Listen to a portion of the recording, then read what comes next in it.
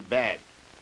So it's safe to talk about flying saucers and people from outer space, people who may be circulating among us now and who demonstrate their unearthly qualities if they choose you as one of their agents by disappearing and reappearing at will in your very presence, in front, if necessary, of many witnesses, and who land on this materialistic earth in flying saucers, to which you, if you're one of the chosen, shall enter through an anti-gravity elevator. Nothing to hold you up.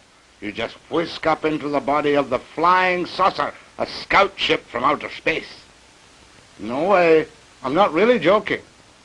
Because I've got a man now, here and now, one of the men who claims fervently that he has met these people from outer space, has talked to them, and has been given secrets of things such as a time machine from men from outer space. You'll meet this man after this plebeian and earthly message.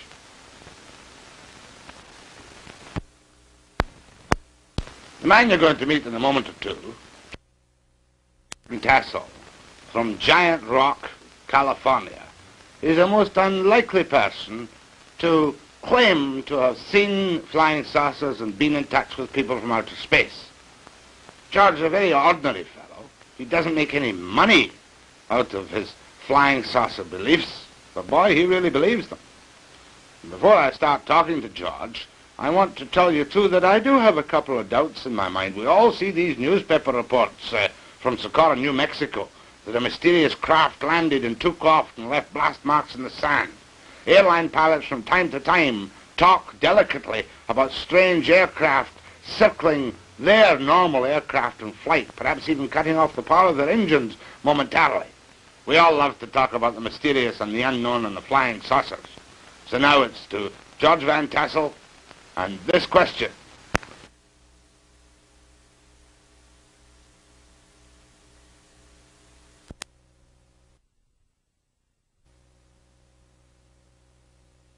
Time machine you're building down in uh, California.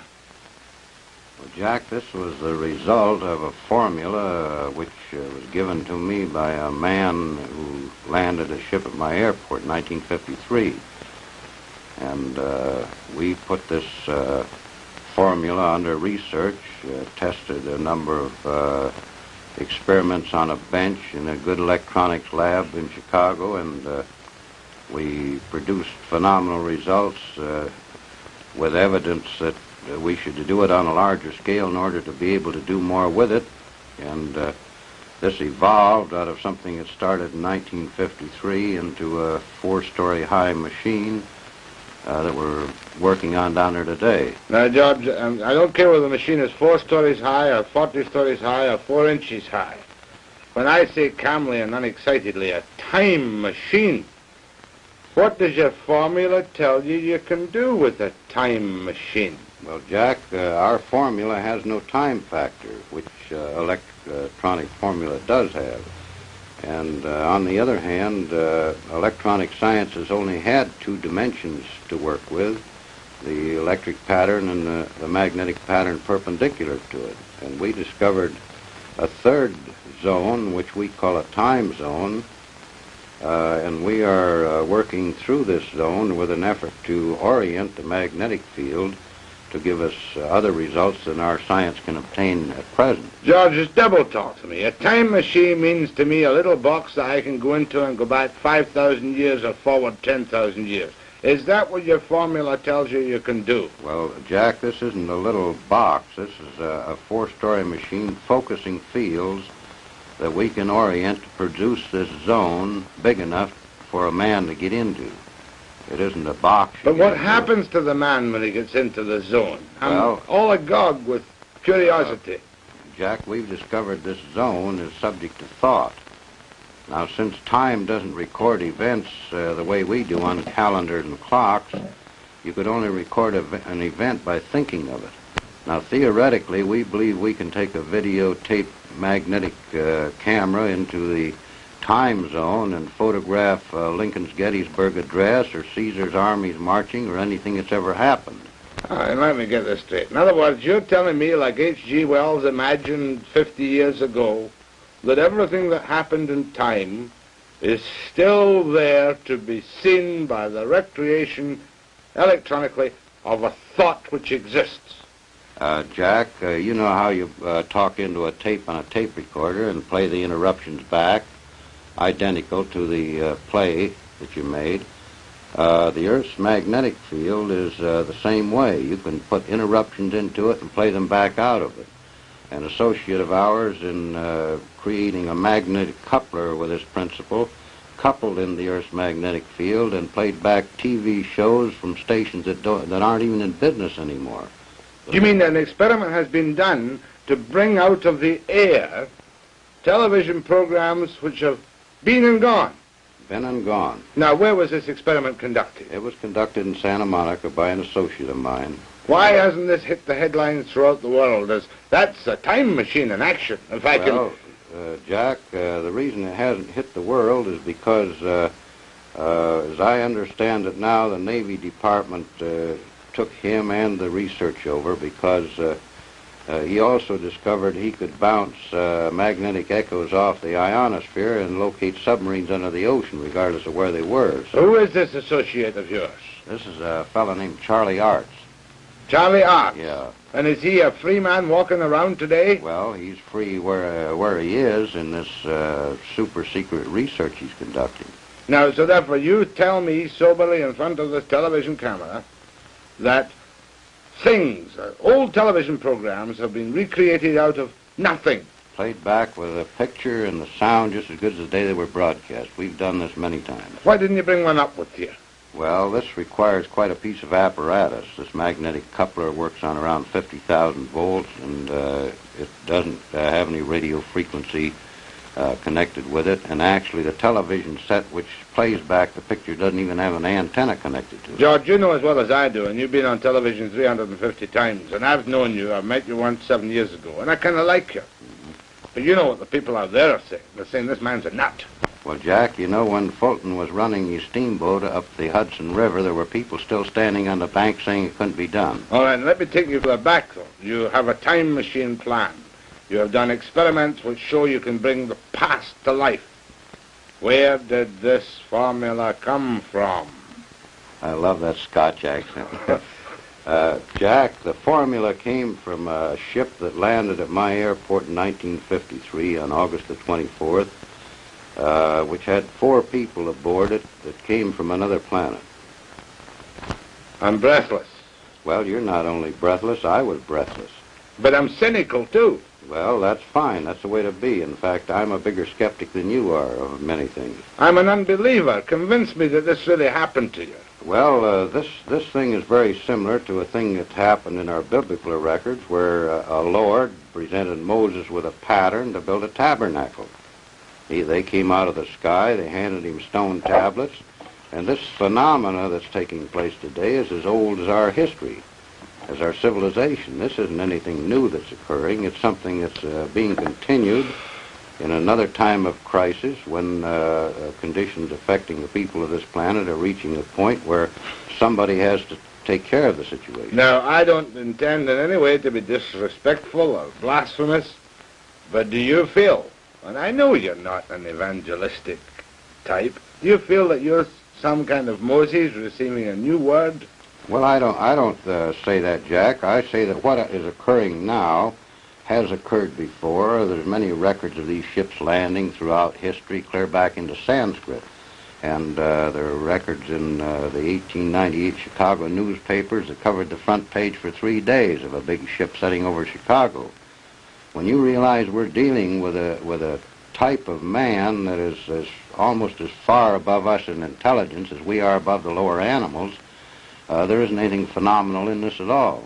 Now, you say casually, because this is your life's work now, uh, ships. Now, you mean flying saucer, don't you? Well, a flying saucer was a name the press put on this thing. And actually, what they termed a flying saucer was nothing but a scout ship from the big carriers. But I want to go back to that night in 1953. Tell me, where did this happen for people who, who, who haven't heard you talk or seen you yet? It happened uh, on my airport, which I've operated for the last 16 years, uh, at Giant Rock Airport, 17 miles north of Yucca Valley in California, or 40 miles north of Palm Springs. Now, this is a private airport for small aircraft, is it? This is an airport used both by the military and private uh, aircraft. You own this airport, do? I leased this airport from the United States government. I've operated it for 16 years since I retired from the flight test business in the aviation. Right now. How old are you now, by the way, George? I'm 54, Jack. Got uh, three grown daughters, married, and 11 grandchildren. You don't mind if I ask you the stock question? I know that you've been asked every obnoxious question that can ever have been asked. You've never been treated for any form of emotional upset. I've never had an emotional upset other than women. Except that night in Yucca Flats, not Yucca Flats, a Giant Rock, when this uh, ship appeared. Now, give me the details, George, because I'm never, never tired of hearing the details of a man who says he has seen creatures from another world. Well, actually, Jack, this was as simple as uh, crossing a street and getting hit by a car. After it's over, you're the victim of the circumstance. And uh, I didn't see the ship land. One of my son-in-laws, uh, that wasn't my son-in-law at that time, uh, saw it come down. another man on the airport heard it, and uh, he wasn't where he could see it. And uh, the man got off of the ship and approached me before I even knew there was a ship down. Where were you then? What time of day or night was it? It was 2 o'clock in the morning and uh, approximately a full moon, which is like daylight on the desert. Were you walking about outside or what? No, I was sound asleep when he awakened me. This man awakened you? Well, something awakened me. So you got up out of your bed?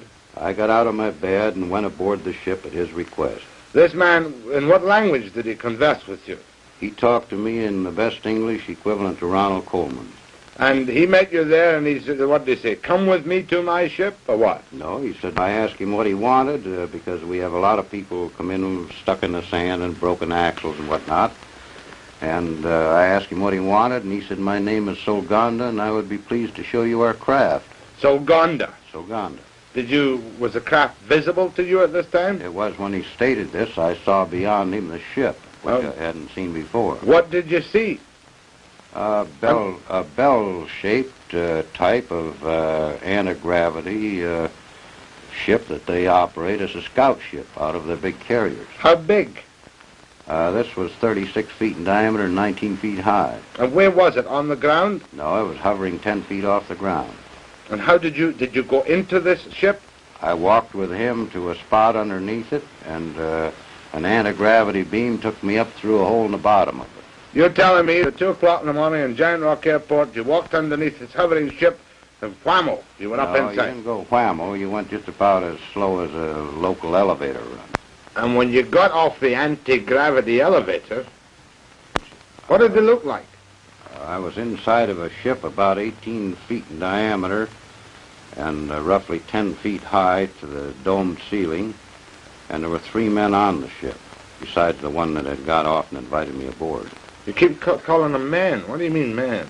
Well, uh, Little green man?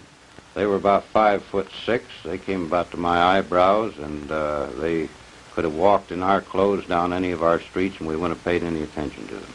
And uh, did you bring any proof off that ship? Were you alone in the ship? I was alone with the three men until the other fellow came up behind me, and then the four of them were aboard. Were there any other earthly eyewitnesses to this? Nothing only outside of the ship, And these people stayed outside. on the airport. And did you go anywhere in this ship? Not to my knowledge, when I got off, it was the same place it was when I got on. What do you mean, not your knowledge? Had the door closed when you went in or something? I don't know, because it was below the deck. And uh, w- did these people tell you where they came from? They didn't say where they came from, but I've been in the air game since 1927, and their instruments were unlike anything I'd ever seen before. Well, don't give me technicalities. What was different? The difference was that we used dial instruments, and they used vertical instruments, like uh, fluorescent tubes with marks on them.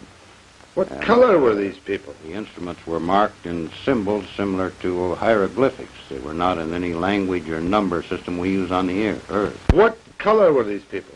They looked uh, like they were white people with a good, healthy tan, Did they give you any indication of how old they were, or what they ate, or where they came from at all? After we got off the ship, the man who uh, invited me aboard, who didn't look a day over 28 years of age, told me that he was over 700 years of age in our time. Oh, come off it, George. That's right.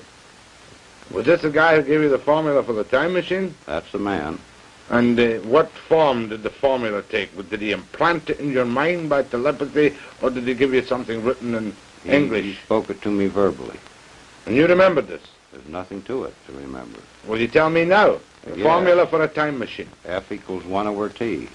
F equals 1 over T. F being frequency and T being time. And this enables me to, to, to go back to the time of Caesar's armies uh, conquering Britain. Well, it would enable a mathematician to work this out, yes. And why hasn't this been acclaimed like Einstein's E equals mc squared? Well, why hasn't the fact that the United States government's been flying uh, anti-gravity ships since 1956 been acclaimed?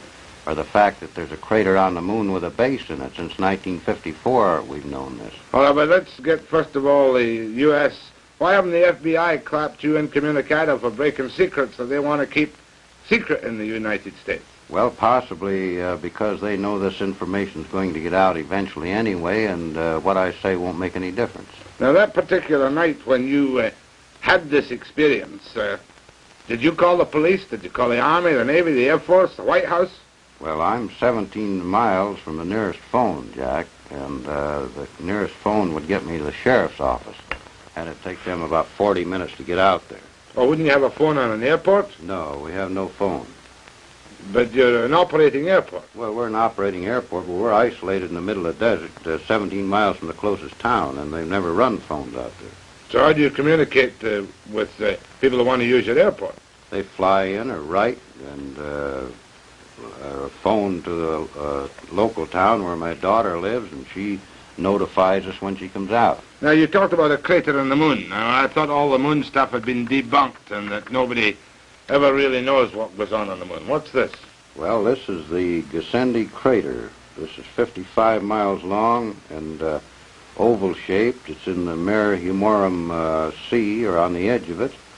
Uh, since 35 years ago, they wondered why this particular crater had these lines in it. And with the magnification which you can get with the larger telescopes, this is what they found. These lines are tubes laying on the surface of this crater and running under some of the mountain ridges. There are three large dome-shaped structures in here.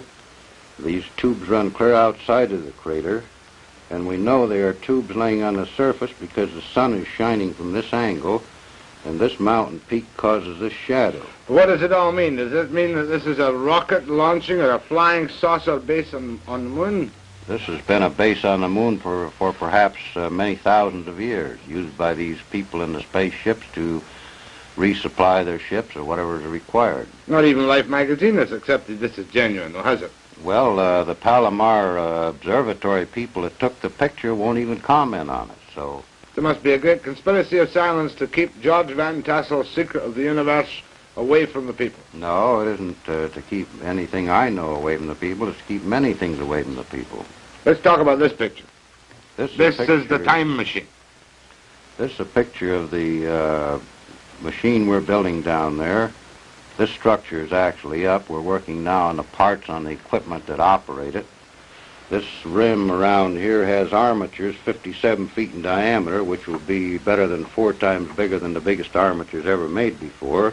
But is that the uh, place where you did the experiments?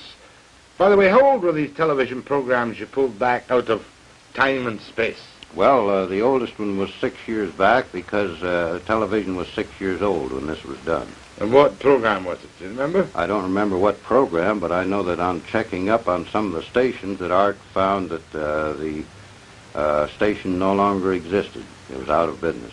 Let's get down to some more basics now. Uh, are you making a, a, a, a, lucrative living out of traveling around the world, evangelizing for flying around the continent, evangelizing for flying saucers? No, uh, Jack, uh, I'm on a vacation to rest my wife because she's been two years in a 40-seat restaurant without a rest, more than anything else, and I enjoy these particular things as a sideline. I make my living on the airport, And uh, this uh, research is something that I've got more money into than anybody else and more uh, contribution to it. Five years of intensive uh, research without any pay.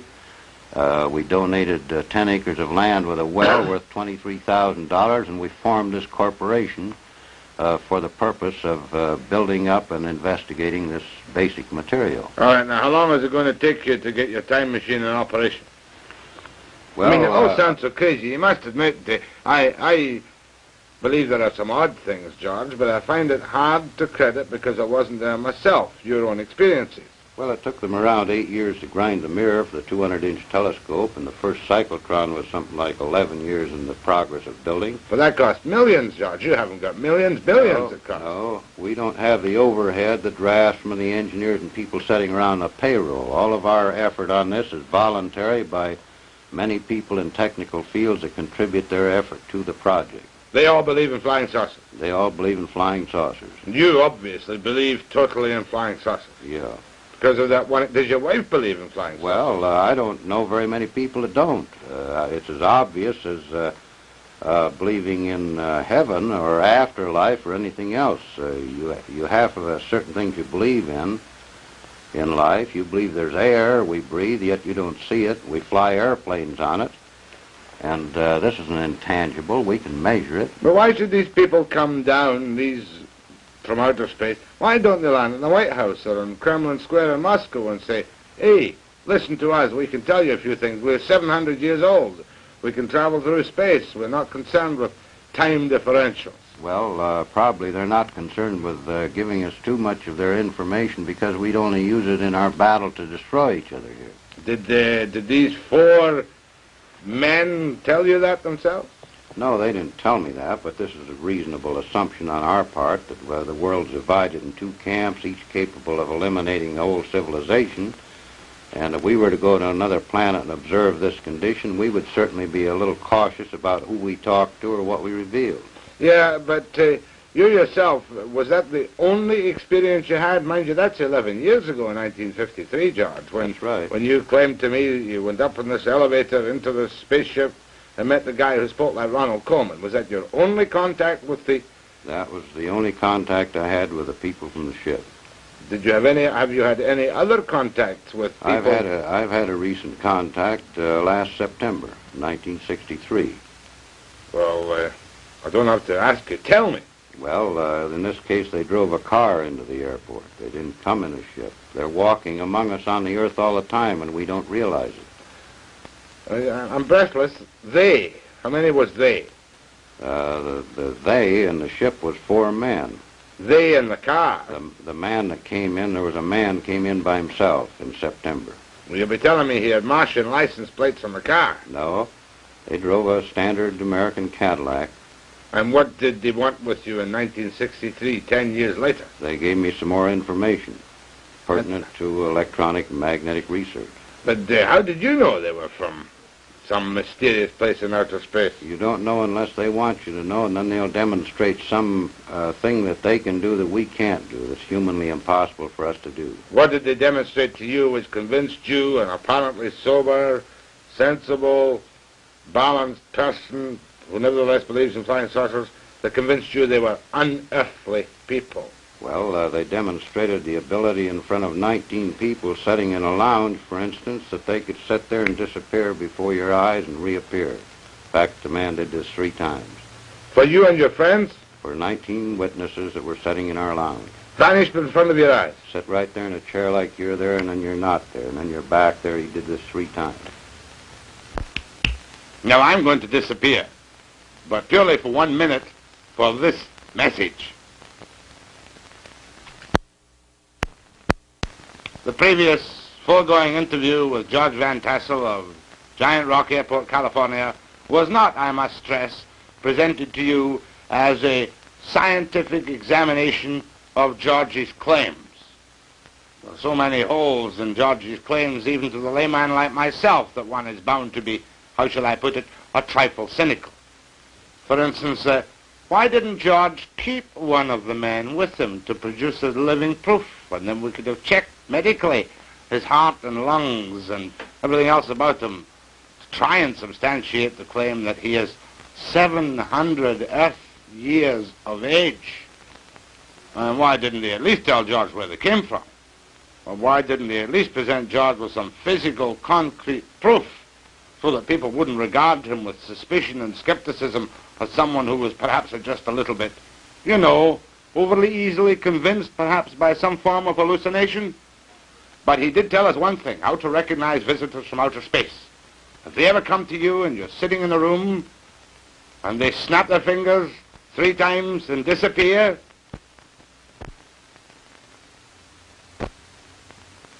and when they reappear a few seconds later, then you'll know for sure that they are from outer space. Thank you and good night.